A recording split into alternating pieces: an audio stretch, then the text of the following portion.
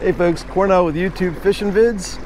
I don't know if this uh, this here kayak is as fast as this critter, but I got a great big giant black rat snake right here in front of me out on my local lake. Another day out on the water and I am lit up, excited. It's gonna be like 75 degrees, light winds, it's beautiful. Look at that black rat snake, guys.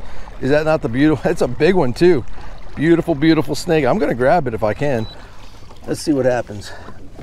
Oh, he's a little bit too quick right there. Just love showing off these critters. He's a big one.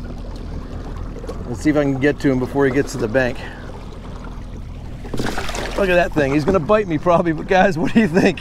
Is that a beautiful big black rat snake? Wildlife out here on the local lake. He's a big one. He didn't come back to try and get me. I thought I'd just show him off while I get out here on the water. Just got out here. I'm gonna let him go back to where he's on his way to go. Get back out there, buddy. No, I'm not scared of snakes one bit. That's a non-venomous harmless critter. I guess if they bite you, there might be a little bacteria in its mouth, but that was just a fun way to start the day. We're gonna get out here, try and get some pre-spawn bass fishing on. It's gonna be absolutely incredible. The water temperatures right now about four to six degrees warmer than it was last week. We've had some serious warm up and uh, air temperatures are like six to eight degrees warmer than they should be this time of year. Should be about high 68, but we'll be up to about 75 like I said today. Let's get on it. Let's see if we can find some pre-spawn bass all the bluegill, all the bait fish, I've seen so much more up shallow than I did last time. So there's gonna be a lot more fish up shallow. I'm convinced.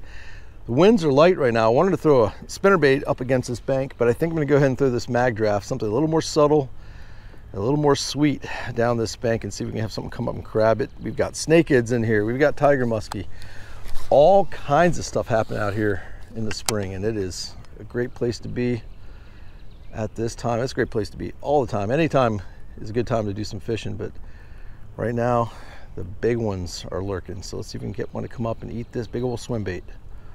While I adjust here to get parallel to the bank, which is what I'm doing, running this Megabass six inch mag draft in the pearl color. The water's just a little bit stained. We got a bright sunshiny day, but that color is perfect for the conditions right now. But so many folks are so curious about the setups uh, people run on these things. And I'm very proud and very, very happy with my setup. It's a 15 pound test Seaguar InvizX fluorocarbon, a Lew's Hyper Mag with a 7.5 to 1 gear ratio. The rod, guys, the rod is absolutely incredible. Zodius rod, a Shimano Zodius in a 7 foot 1 heavy action, but it's a heavy action plus. I don't know exactly what that means, but it has got the most perfect tip, rated to two ounces. It's an ounce and a quarter bait.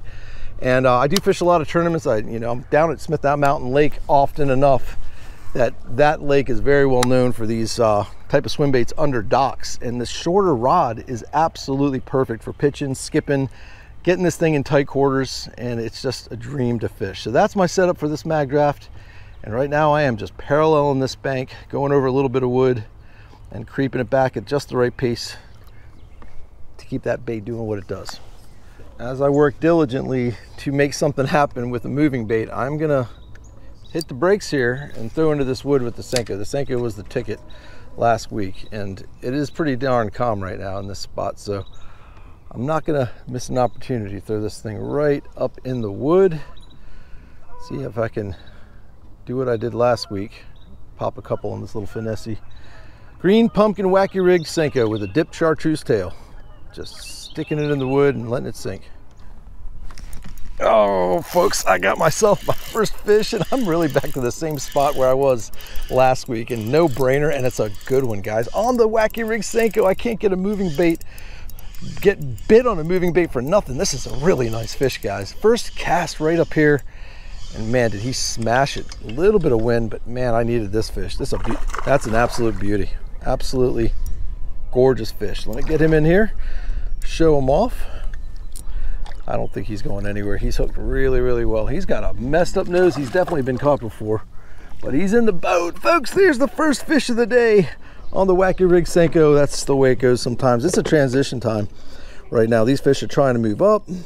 There's all kinds of things going on. So let me get the pliers, which I knew I would need. I'm a happy camper. Give me one second, I'll get that hook out. All right, folks, got the hook out. That's an absolute beautiful way to start the day. Got myself a little pre-spawn fish. He's actually been caught before, but he's doing fine. Going back. I don't think I talked about my setup for my Wacky Rig Senko here last week. It's just a seven foot medium action It happens to be a Shimano Expride. It's a it's a high-end, awesome. And well, when I say high-end, it's not crazy G Loomis price point, but it's a really great rod. Real lightweight, real sensitive. I've got 10 pound test braid to an eight pound test fluorocarbon leader. Just a little wacky rig hook. I think it's a Trokar with little weed guards and a one aught.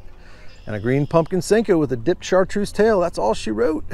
Just sinking it down right next to a piece of wood and some rocks and letting it do its thing. There's another one. There's another one, folks. That was only about two casts later. All right, we got a game on here with this Senko. Not quite as big, but it's still a decent fish. I am not complaining one teeny itty bitty bit. How cool is this? Great way to get it going. Awesome. How cool is that? That's two casts later.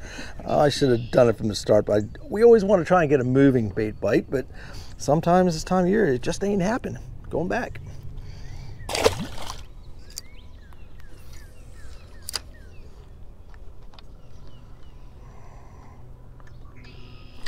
We go. Number three, folks. Number three. That's awesome. I hate to be cliche, I'll tell you, but I'm fishing with what's working, and it is the Wacky Rig Senko. Go figure, as my autopilot kicks into gear. That happens sometimes when the winds are subtle. It kicks me around. I've not fallen off once. This thing is pegged perfectly. And there we go. Number three, another nice little chunk. They're not too bad. They're not too big, but not too small. And I'll take them. There are so many ways to rig a wacky rig Senko, folks, but that's the way I got it going today. Green pumpkin, chartreuse tip tail, walnut, I believe it's a Trokar with little weed guards, but you guys see that clear little band right there?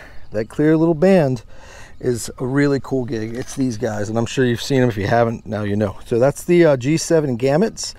The, no, the seven millimeter is what fits the five inch Senko just perfect. You need that little tool, and that little tool right there works like a charm to get that little o-ring around it. And uh, it is rigged perpendicular. It is going straight through. I've just caught three fish on the same Senko. You know these things are expensive so it's going right through it.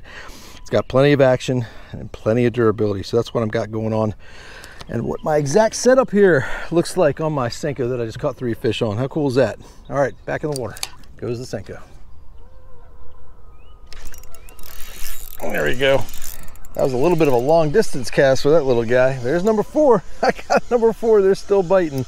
I moved a bit. It's been a little bit since that last one, but they're still biting. That's the smallest one, but there's number four fish. Happy to have them. Again on the Senko. Going back. I think I got myself a decent one. Let's see what we got. Didn't even feel the bite. Just lifted up and it was heavy. I don't know what's going up. Decent little fish. Number five. Number five had a bunch of little dinks bite this thing. He's skinny. Oh, here he goes. That's a quick release, guys. That's that's number five fish, but I want you to look at this. That's the same Senko. Five fish, almost five in the boat, and a bunch of little dinky bites on that thing, and not a scratch on it. Folks, these little uh, Gambit deals, or O-rings, there's lots of different options, but those O-rings, depending on how you set them up, you're not getting it perpendicular like that, so it dances the right way. So testament to that little routine. Let's go get another one. There he is. Unbelievable, guys. I got me a bedfish. There it is. That's absolutely the coolest thing. I got myself a fish right off a bed. Did not think it was going to happen. I'd seen this fish earlier, and uh, it's a decent fish on a drop shot. I put my Senko in there earlier. Biggest fish of the day, too. Right off a bed. They're up there, guys. Now we know. What do we have here? We have, oh my gosh, does that say what I think it says? 68 degree water temp right here. 68 degrees, no wonder they're up here doing their thing. It's a good one. Real good fish. Don't know if it's a big old buck bass. My guess is that it is because he does not even have a belly on him. So gosh, can you imagine? This is a big male right here, guys. Big old male. Got my drop shot in his mouth perfectly. Let's see if we can get him in here to show off the biggest fish of the day. That's a heck of a buck bass right there. Absolutely awesome that he bit. I mean, perfectly nose hooked right there, ready to go right back on the bed. Yep, there he goes. He's doing his thing. So that's a male buck bass and a really, really nice one. I'm gonna get a couple pictures of that real quick and put him back on the bed. All right, there it is, going right back to the bed. First bed fish of the year.